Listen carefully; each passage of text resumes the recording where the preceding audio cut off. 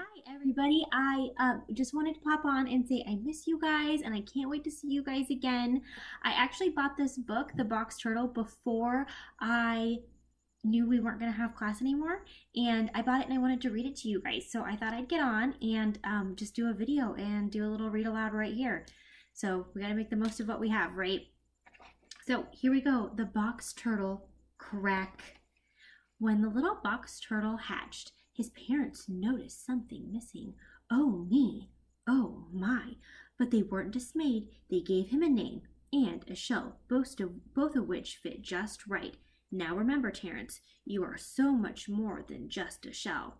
Terence kept Terence's shell kept him dry on the soggiest days, safe from the snoopiest strangers, and on the scariest nights. So there's Terence. He doesn't have a shell, but his parents got him one instead, and it's a great shell. It was big enough to share. Terence loved his shell until one day, your shell is weird. So Terence loved his shell until someone made fun of it. Hmm, poor Terence. Suddenly, Terence's shell seemed too boring, too bizarre, and too big for the little box turtle to bear, so he abandoned it to search for something better. Make a prediction. Do you think Terence is going to find something better? What do you think? Terence searched high and low until, woo-wee, his new shell looked sleek. Look at him. He's so happy. Eek! But it showed too much cheek. The search continued. He looked classy. He looked sassy. He looked just like...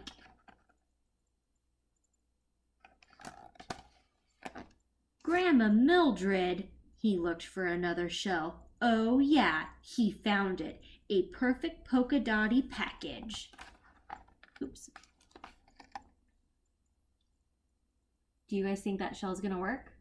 I don't know. What do you think that shell is to do on this side? Do you think it's to it's to work out for him? I don't know. We'll find out. Pop, that was positively petrifying.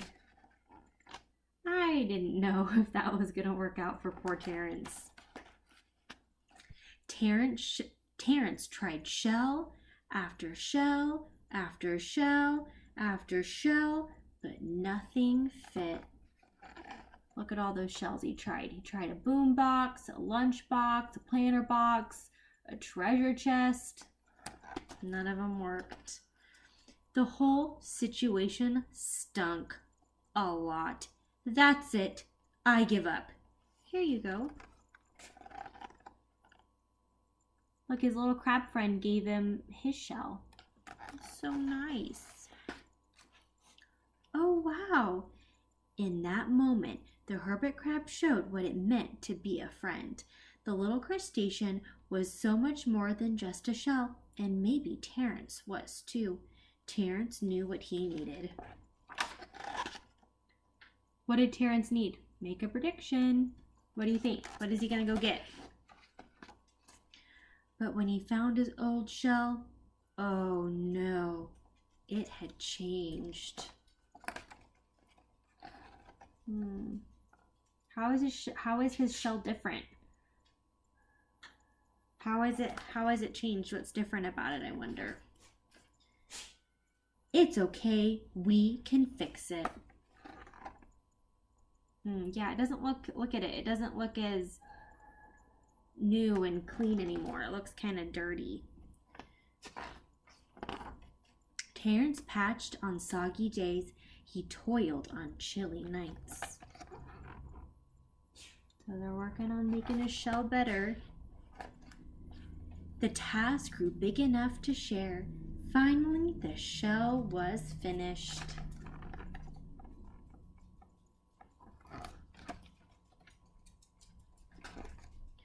It wasn't sleek or sassy. It was far from perfect and definitely weird. But Terence wasn't dismayed because this little box turtle